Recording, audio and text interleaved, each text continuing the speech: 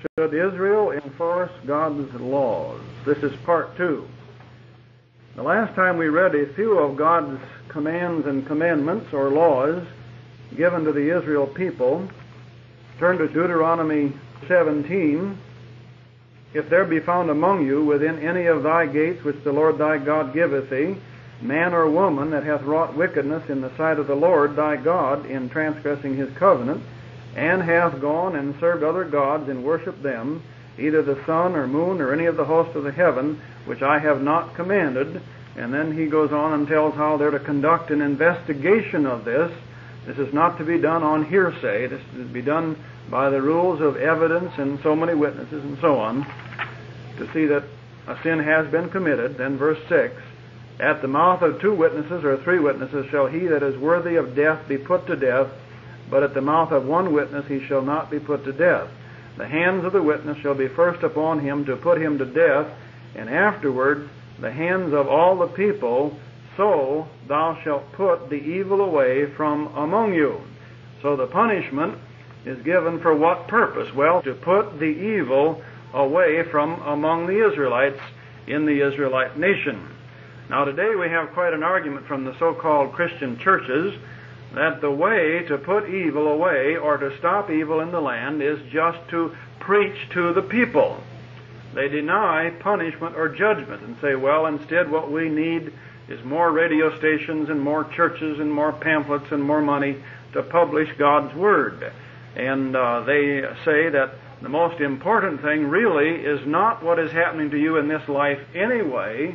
What is important is to, quote, save souls so they can go to heaven when they die. So the emphasis of modern preaching is primarily on what happens to you after you're over or through with this physical life, whereas God's laws, statutes, and judgments were given for this physical life upon the earth. So the preaching today is not related to God's law and to God's judgments or punishments for the evildoer at all, or at least very little of it. Now, this idea that the way to put evil away among the Israel people by preaching can you imagine any people in past history, present, or in the future until the kingdom who had more preaching and more witnessing of the power of God's Word than these Israel people? To whom God was telling them, if someone comes and tries to turn you away from me, you put them to death. Just think of some of the things that had happened to these people just before God gave them these commandments. There were the miracles in Egypt, the parting of the Red Sea, the destruction of the Egyptians, the waters cured, the manna from heaven, water from a rock, men were consumed for offering strange fire, the earth opened up and swallowed Korah and some of his rebellious compatriots, the brazen serpent healed the people, and on and on. No generation before or after had had more powerful preaching evidence and witness of God's Word than that generation. And yet it was that generation that God said to them, We've got to give you laws to put away evil from the midst of you. God did not say, Well, now all you have to do is teach my Word and tell the people what I've done, and they're going to turn and quit sinning. No. This is the same God who said of man in Genesis 8 after the flood, for the imagination of man's heart is evil from his youth. The Creator God knows what kind of man he has upon the earth. And God said through Moses of the Israelites, in case you think it's just the non Israelites who are the sinful, wicked people, in Exodus 32 9, I have seen this people, and behold, it is a stiff necked people. Now, we are their descendants. We came down through many generations from these same people. So unless we have become some sort of super creatures, substantially more moral than they were, preaching is not going to change us any more than apparently did them. So God said to Israel, to put away evil from among you, I am commanding you to do such and so. Certain people committing certain crimes are to be executed not for vengeance but to put evil away from Israel. Turn back to Exodus 22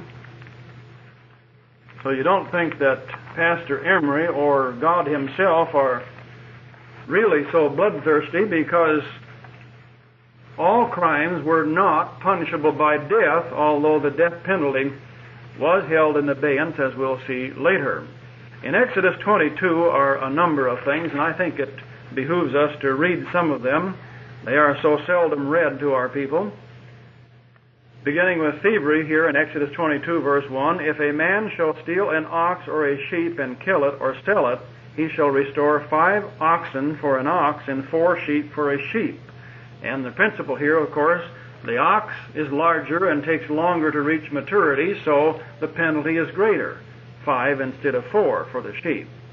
Verse 2 If a thief be found breaking up, and be smitten that he die, there shall no blood be shed for him. This uh, used to be in some of our laws to some extent, that if an individual killed a thief during the night or in the dark, it was considered justifiable homicide. But if he killed a thief in the daytime, there was an investigation because of the possibility that since he could see the thief, recognize him, the thief could be caught later without bloodshed. It says here in verse 3 If the sun be risen upon him, there shall be blood shed for him, for he should make full restitution. In other words, God says it's better to catch the thief, require him to make restitution, than it is to kill him. If he have nothing, then he shall be sold for his theft. If he does not have enough money to restore according to the prescribed the prescription given here in the law, then he is farmed out, sold to the highest bidder, and works to pay back the money he has stolen, plus, of course, the judgment of four or five or double or whatever it is. Now, we have an example here of a Jew land fraud king in Arizona who recently was put in jail after 20 years of defrauding the people of an estimated 50 millions of dollars the man has been put in prison, and as far as I know, the newspapers have not reported that any of his property has been confiscated at all. Apparently, it will be passed on to his children or the rest of his family, all of these millions of dollars he has stolen from people. Now, God's law, of course, would require that all of his property be confiscated. If that is not enough to make restitution, the man would work the rest of his life, if necessary. For vengeance? No. So that others will hear and fear and no more do such things in Israel. Verse 4 If the theft be certainly found in his hand alive, whether it be ox or ass or sheep, he shall restore double. So if whatever he stole is recovered intact, then he only restores double. If a man steals an automobile today, he's caught with the automobile, he owes the owner of that automobile two automobiles. If he wrecks it or sells it, he owes him five, or four, as the judges shall decide. Now listen to some of the good, sensible rules that we're reading here and consider that most churches in today who profess to teach God's Word do not even inform their congregations that these simple, sensible regulations of life for man are in the Bible. Verse 5 of Exodus 22. If a man shall cause a field or vineyard to be eaten, and shall put in his beast, and shall feed in another man's field, the best of his own field, and of the best of his own vineyard shall he make restitution. Verse 6 If fire break out and catch in thorns, so that the stacks of corn, or the standing corn, or the field be consumed therewith, he that kindled the fire shall surely make restitution. Do you mean God Almighty, who has such great and important things to take care of in heaven and on earth, stoop so low as to write a law telling you what to do if you set a fire and it burned up your neighbor's cornfield? Well, of course he did, because it is God who is the ruler in Israel who has given Israel laws for her good, telling Israel what to do when such and so happens. And um, unless you are totally out of tune with God, you see the righteousness of these laws. The man's responsible, he restores, puts back the injured man in the place where he was. If a man shall deliver unto his neighbor money or stuff to keep, and it be stolen out of the man's house, if the thief be found, let him pay double. This is what we read in the previous verses. If the thief be not found, then the master of the house shall be brought unto the judges to see whether he have put his hand unto his neighbor's goods. You give something to your neighbor to keep while you're on vacation, and when you come back, it's gone. He says it's stolen, but you can't find a thief. There has to be an investigation to see whether he stole it or not. Does God assume that all of these people are honest and forthright and never lie? No. He knows what kind of creatures we are, so he makes provision for it. For all manner of trespass, whether it be for ox, for ass, for sheep, for raiment, or for any manner of lost thing, which another challengeth to be his, the cause of both parties shall come before the judges, and whom the judges shall condemn, he shall pay double unto his neighbor. In other words, if he has stolen it or possibly has caused it to be lost, he pays double just like the thief would. If a man deliver unto his neighbor an ass or an ox or a sheep or any beast to keep, and it die or be hurt or driven away, no man seeing it, in other words, not stolen, just mysterious disappearance, then shall an oath of the Lord be between them both, that he hath not put his hand unto his neighbor's goods, and the owner of it shall accept thereof, and he shall not make it good. If it's just disappeared and there's no way to find out what has happened to it, then he makes an oath that he hasn't taken it, and the uh, merchandise or the property is gone, but no one has to make good for it. Verse 12, And if it be stolen from him, he shall make restitution unto the owner, unto the owner thereof. In other words, if he hasn't protected it from being stolen while in his possession, then he has to restore. You take some valuables over to your neighbor, or he gives them to you, and they're stolen while they're in your possession, it's your fault. You accepted this responsibility when you took the goods. And so God says, well, all right, I'll give you laws for even such little things. To see what the existence of these laws does, it prevents controversy in Israel. Because God is the judge. God is the lawgiver. God is the ruler. If something uh, like this takes place, you don't have to go and say, well, now, this is such and so has happened, what do we do? Well, you turn to the Bible, and the Bible says this is what you do. And that is the end of the controversy, and then the neighbors can live together in peace and harmony because God has settled it in a righteous way. Verse 13 If it be torn in pieces, then, it, then let him bring it for witness, and he shall not make good that which was torn. If the wolf comes in and kills the sheep, then the man who has been keeping the sheep for the neighbor is not responsible, because obviously he can't protect from all things. Now, to just transpose that to modern days, let's say that one of you young men are going with your family on vacation and you have a very beautiful automobile that you worked on for many hours and you want someone to watch over it while you're gone. So you go to the neighbor and say, well, could I park my car in your yard while I'm gone so and you watch it so it isn't stolen? The neighbor says yes. The neighbor has accepted responsibility.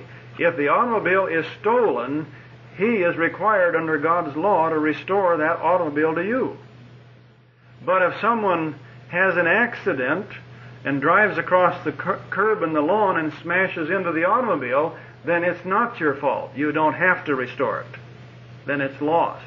You see, these things can be taken by judges and ruled on in today's society. How many times have you heard the argument, well, God's laws were given for uh, people who lived in rural areas in an agricultural society, and they had restitution for beasts and for oxen, for sheep and so on. You can't relate that to today. You can. Obviously you can. We're not stupid even though we are sinners. God knows we have good minds, and we can take the principle given here, transpose it to modern society, use it, it makes sense, it is righteous, and it would eliminate problems between people these laws of liability and so on. Verse 14.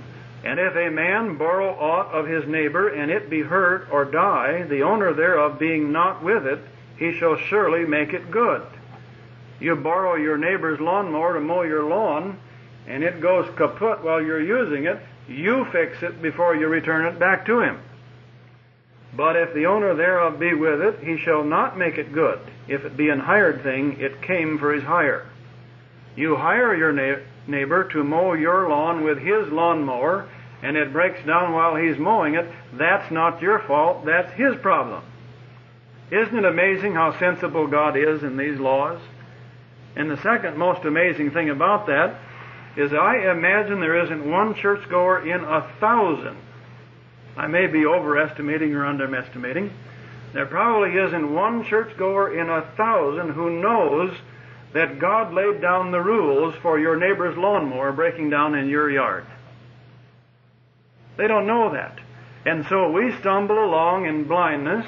Every time something happens, we try to decide between two men without any divine principle as to what should be done and when we're through, someone is angry, upset, and those neighbors are never friends, never speak to any, each other anymore. Why? Because they didn't know the divine law principle as given in the Bible. And these things, this one chapter and these several related chapters, can be related to anything that could happen in modern society.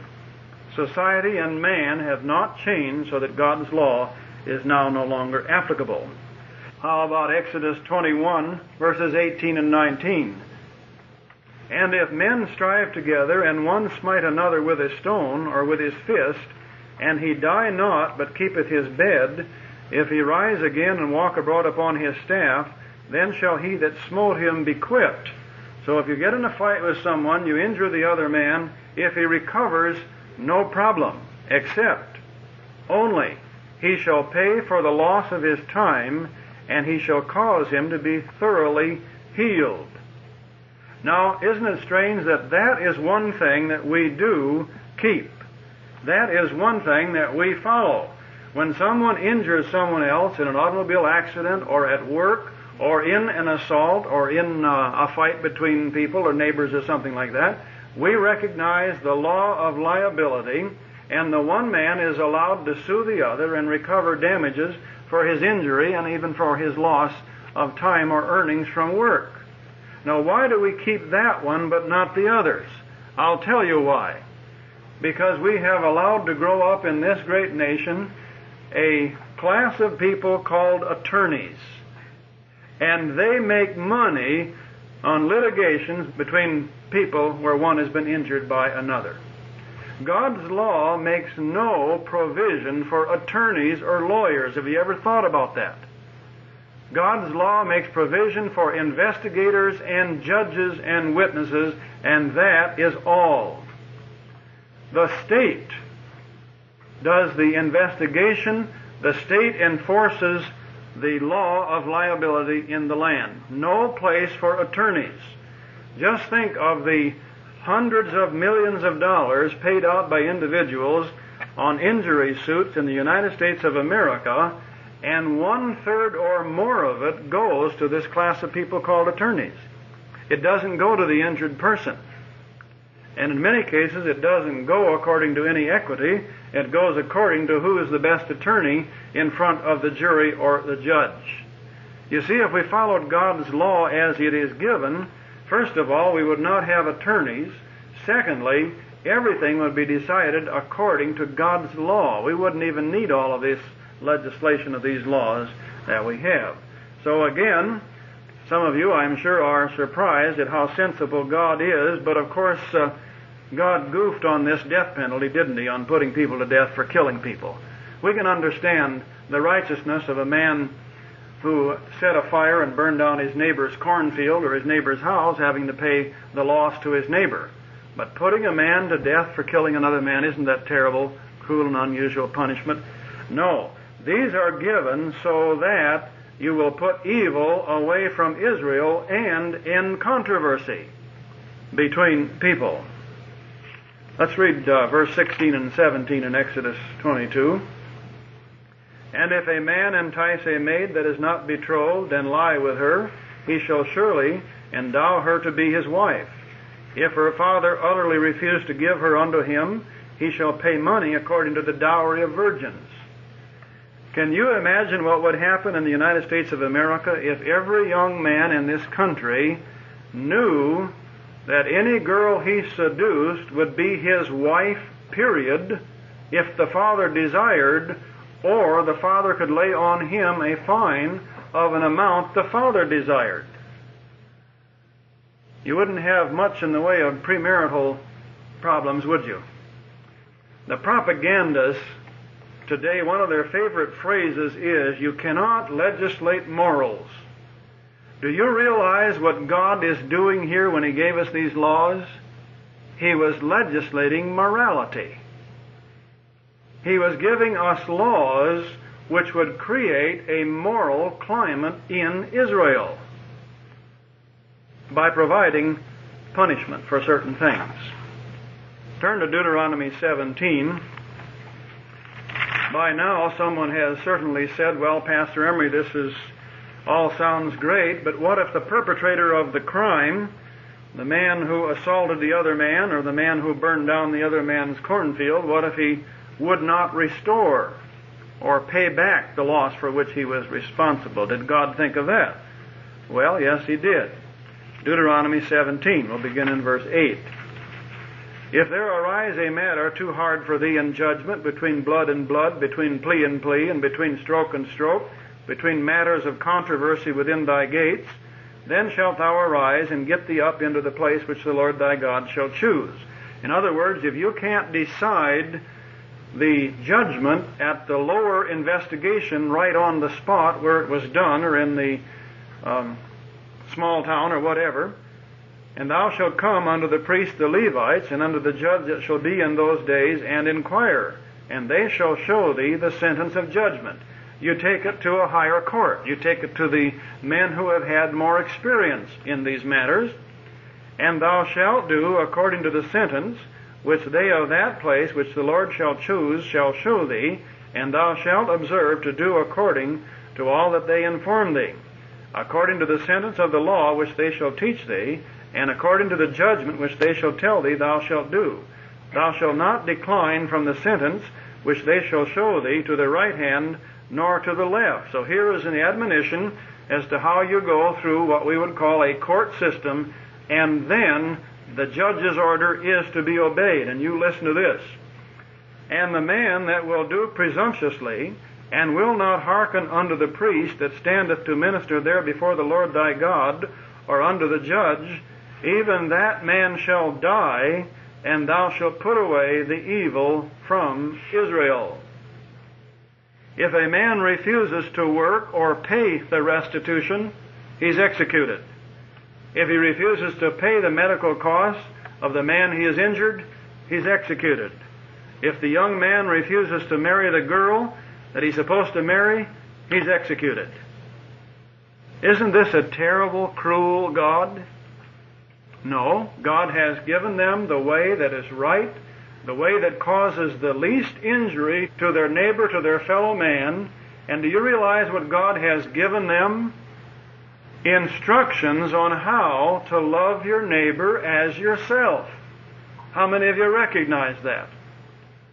You know, the modern teachers are great ones to say, well, all we have to know is Jesus Christ, and He'll come and live in our heart, and He'll tell us what to do, and we'll love God and we'll love our neighbors as ourselves. And then they start about loving, and then they start telling us about how to love people. And isn't it strange, but most of what they tell us about loving other people is loving other people who are evil and wicked and sinners? No, the obedience to God's law, the placing the injured party back in a position as near to what he had been in before, or the removal of those who kill or deliberately injure other people from the society is the greatest manifestation of loving your neighbor as yourself that a society can provide for. Now, I think most of you recognize that if this were carried out, that you soon would have a dearth of murderers in the land. Thievery would be practically unknown people who've been in some of the Arab countries tell me that over there, when a man steals something and is caught, they cut off one of his hands. If he steals a second time, they cut off his other hand. And I know a few have told me they have seen people over there with one hand missing. But I've never heard of anyone telling about someone seeing someone with two hands missing. They also tell me that a person over there can leave his car parked anywhere, leave the doors unlocked, leave their cameras in the seat, park their motorcycle or bicycle any place and never have to worry about it being stolen. Why? Because they punish the evildoer and put away evil from their nation. Just recently there was a great furor because the Arabs over there whipped, I think it was an Englishman, because he had either brought in or manufactured some alcoholic beverages and was passing it out or giving it to his Arab friends. That is forbidden under Arabic law. So what did they do with him? They whipped him publicly. And do you realize that everyone in the United States and Britain and probably in Western Europe knew that that man was whipped over in Arabia for furnishing alcoholic beverages to an Arabian? How many of you think that American citizens will now go over there and furnish alcoholic beverages to any Arab? I don't think so. One man whipped, a million of them learn a lesson. That's God's way of doing things. Very simple, very effective. Verse 13, and all the people shall hear and fear and do no more presumptuously. That is the purpose for this. One man is punished so that thousands may learn. Regarding these civil lawsuits, I was recently reading a magazine article about them, and the judges and the attorneys have admitted that one of the major problems regarding liability is the lack of ability to collect. Millions of dollars are owed in this country to thousands of people who have gotten court judgments for the injury, but they can't collect it. The uh, man hides his assets, moves, just refuses to pay or whatever. Well, that wouldn't happen under God's law after one or two or three of them were executed for trying to get away from paying what they owed. And by now someone has asked, well, Pastor Emry, what about people who lie? How can you get righteous judgment in a court of law if somebody tells lies, if the witness lies about a person? And um, this happens many times. The police admit that the problems inside the court are multiplied because they cannot depend upon the witnesses telling the truth. In fact, the witness may tell one thing one time and one thing another. So what about a witness who accuses a person of stealing something and he didn't steal it? What about a witness who accuses a person of committing a murder or an assault and the person didn't do it? Did God think of that? Well, yes, He did. Turn to Deuteronomy 19, verse 16. If a false witness rise up against any man to testify against him that which is wrong, this covers everything every criminal or civil investigation. Then both the men between whom the controversy is shall stand before the Lord, before the priests and the judges, which shall be in those days, and the judges shall make diligent inquisition, and behold, if the witness be a false witness, and hath testified falsely against his brother, now just think, this is a diligent inquiry. Now in most cases at law, you would have enough witnesses so it would be fairly easy to ascertain the truth. But suppose you only have one or two. Now, in a case of a man stealing something and it being found in his hand, that alone is a part of the evidence. But suppose there's only one or two witnesses to this and they actually uh, lie about this person. Well, they're to carry on an investigation, not some 30 minute interrogatory, but a long investigation because this is a serious matter. But what happens if they find he has testified falsely? Then shall ye do unto him as he had thought to have done unto his brother. So shalt thou put the evil away from among you. Now, isn't that something for punishment? I wonder how many judges or attorneys have ever thought of the possibility that would be an effective way to stop lying in the courtroom under oath. Here's an example, and perhaps you hadn't thought of this. What about an employee or someone who has stolen a hundred dollars? And this happens very often. The police will tell you this. The employer comes in and says, no, he didn't steal a hundred dollars. Five hundred dollars is missing.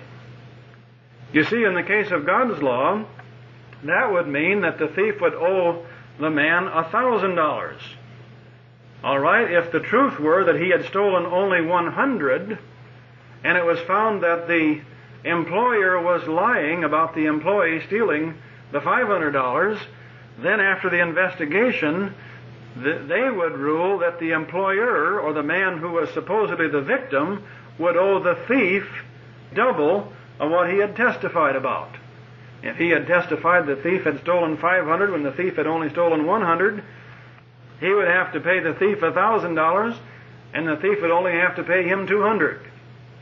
The insurance companies say that this is one of the reasons why they spend in the United States millions upon millions of dollars investigating claims. Because someone's property is broken into and something is stolen the person who owns the property takes advantage of the theft and reports other items as being stolen. And this goes on all the time. A thief will come in and steal a television set. When they report it to their insurance company, the man says, Oh, he stole a television and four radios and three rifles and the bedspread off my wife's bed and the silverware and so on. This happens all the time. Under God's law, the man who reported the theft as greater than it was would be required to pay back to the person he lied against twice as much as he falsely claimed. Can anyone here think of anything or any way of doing this that would work better with man as we know him to straighten him up and make him treat his fellow man as he's supposed to? And I've only read a few of these, of course. All right. If the charge were murder, if the witness testified under oath in court that a man had committed murder and it was later found that the man had not and the witness had lied, what would they do? Would they release the innocent man and chide the liar and give him 30 days in jail for contempt of court?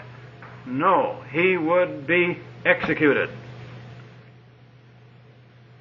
One of the reasons we have such high taxes in America is because you people are paying for days and hours and months of, and years of hundreds of thousands of people's time in the court system trying to find out what is truth because there is literally under our laws no penalty for lying. And witnesses go before the courts every day and lie and lie and lie. In some cases, of course, to get out of punishment themselves. In some cases, for vengeance or hatred of another person. God's law, if obeyed, would end that very quickly with the requirement of paying back of restitution and or execution of the false witness. They would end the false accusers. Verse 20 and those which remain shall hear and fear, and shall henceforth commit no more any such evil among you. That is the whole reason and the result of divine judgment. It is not rehabilitation, as they say our laws should be today. It is not just to get someone off the street who might injure another person. It is not vengeance, as those who oppose God's law say. The purpose is a better society, justice and equity in the land, and peace for the people. That is the purpose of God's law. One criminal is punished for the benefit of millions of others who will hear and fear and no more commit such things in Israel. So then what is our problem? We've got this book and we've got these laws. What is the problem? I believe today the major problem is the churches which teach that this law is put away. For ye are not under the law, but under grace. Some will admit personally, individually, if you question them, that that verse is addressed to Christian believers.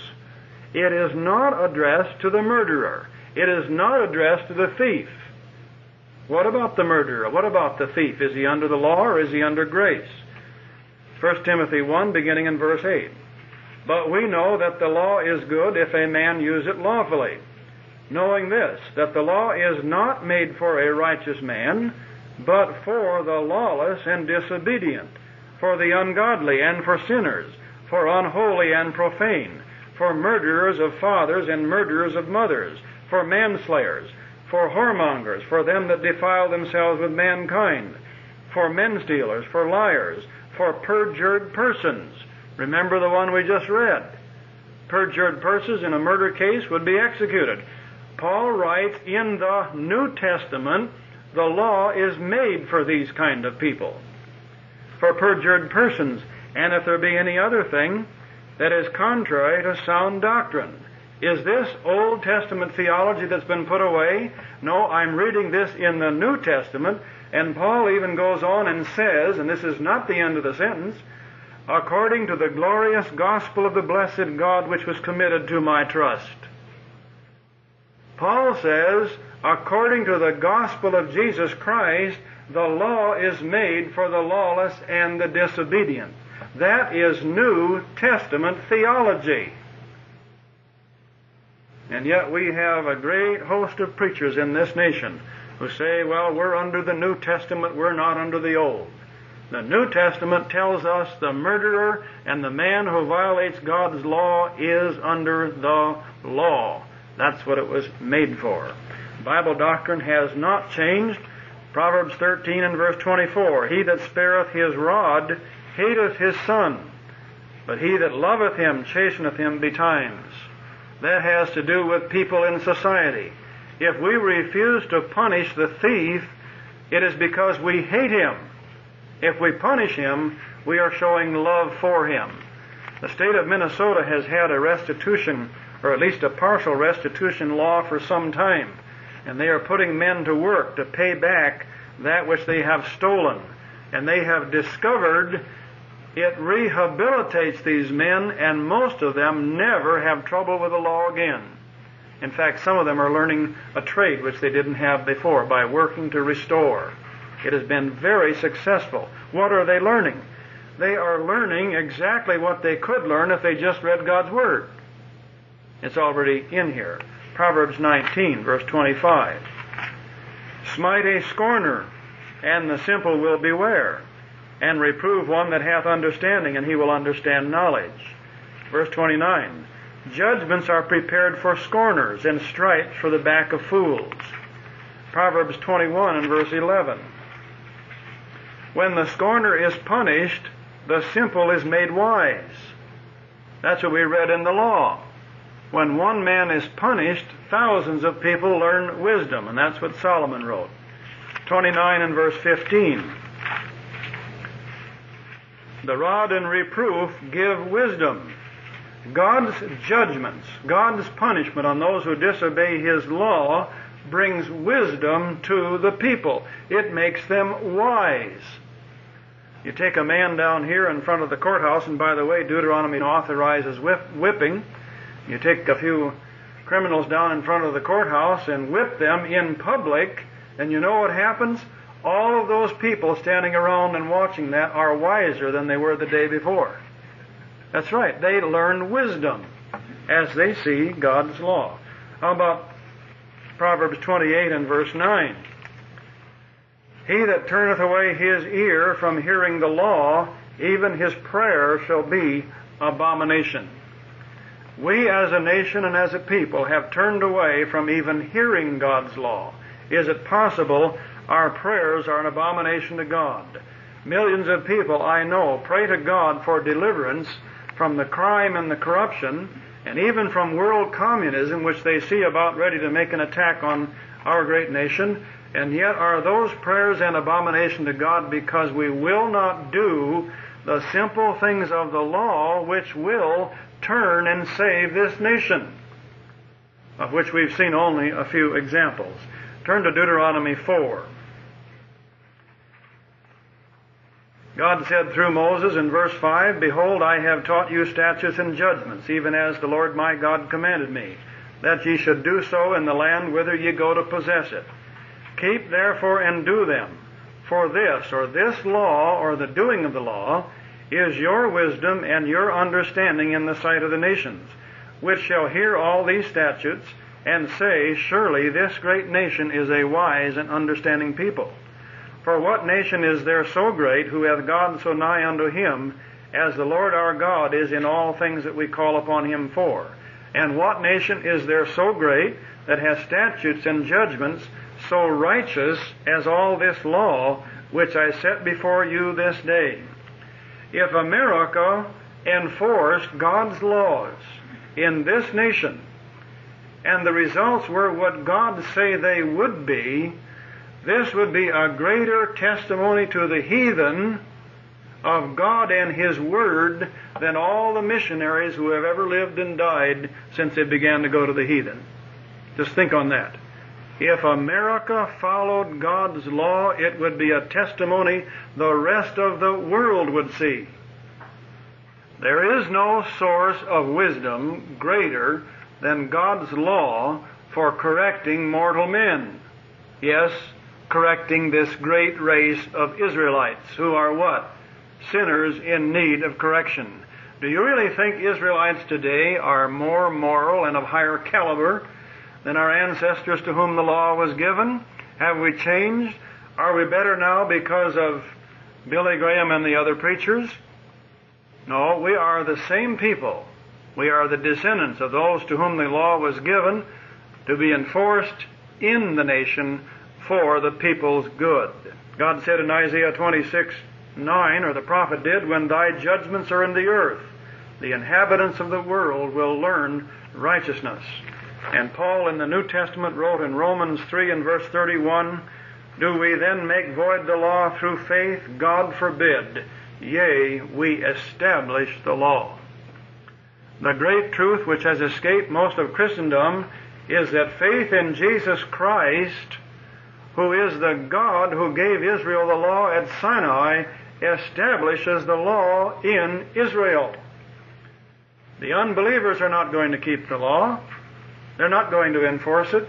It is the believer. It is Christendom. It is Christian Israel who is to enforce God's law and make it as an example not only to Israel, but to all of the world. May God speed the day, and I believe from prophecy this day is coming when Israel will turn to God's righteous laws and be that example to the rest of the earth. Let's stand.